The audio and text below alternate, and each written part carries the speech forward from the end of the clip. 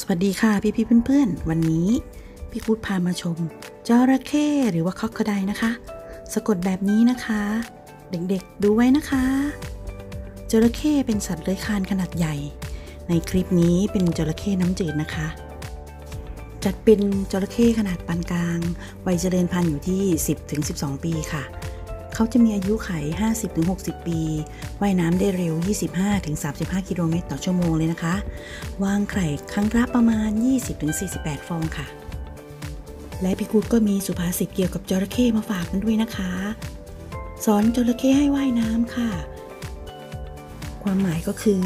สอนให้คนที่มีนิสัยที่ไม่ดีอยู่แล้วอะค่ะ ให้มีความฉลาดมากยิ่งขึ้น แล้วก็ทำในสิ่งที่ไม่ค่อยจะดีเท่าไหร่ค่ะ ระยะฟักไข่ของเขาก็จะประมาณ 70-85 วันนะคะ วางไข่ในฤดูฝนค่ะ โดยขุดหลุมริมน้ำนะคะ ส่วนสำนวนต่อไปนะคะก็คือหนีเสือปะจระเข้ค่ะ ความหมายก็คือหนีภัยอันตรายอีกอย่างหนึ่งแล้วก็ต้องมาเจอภัยอันตรายอีกอย่างหนึ่งค่ะ ซึ่งร้ายพอๆกันเลยนะคะอาหารของจระเข้ก็คือเขาจะกินปลาแล้วก็สัตว์น้ำตัวเล็กเป็นอาหารค่ะ สำนวนต่อไปนะคะจระเข้ขวางคลองค่ะ หมายถึงคนที่ชอบขัดขวางผู้อื่นค่ะ คอยกีดกัน ไม่ให้เขาทำอะไรได้อย่างสะดวกนะคะจระเข้เขาจะไม่ทำร้ายใครก่อนนะคะ ถ้าเขาไม่ได้ถูกรบกวนค่ะ พบมากที่ภาคกลางค่ะสำนวนต่อไปนะคะว่ายน้ำหาจระเข้ค่ะ หมายถึงเสี่ยงเข้าพบทั้งทั้งที่รู้อยู่ว่าจะต้องได้รับอันตรายนะคะ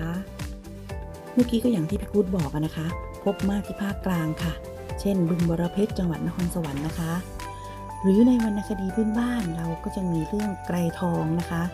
อันนั้นพบที่จังหวัดพิจิตรค่ะ ปัจจุบันก็ยังมีหลักฐานคือถ้ำของ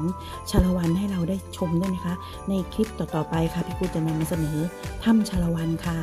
มีอยู่จริงนะคะ ที่จังหวัดพิจิตรค่ะในคลิปนี้ก็หวังว่าพี่ๆเพื่อนๆคงได้รับ ความรู้ไปบ้างไม่มากก็น้อยนะคะ ขอบคุณพี่ๆเพื่อนที่ติดตามรับชมคลิปต่างๆในแบบกูดๆค่ะ และพบกันใหม่คลิปหน้านะคะ สวัสดีค่ะ บ๊ายบาย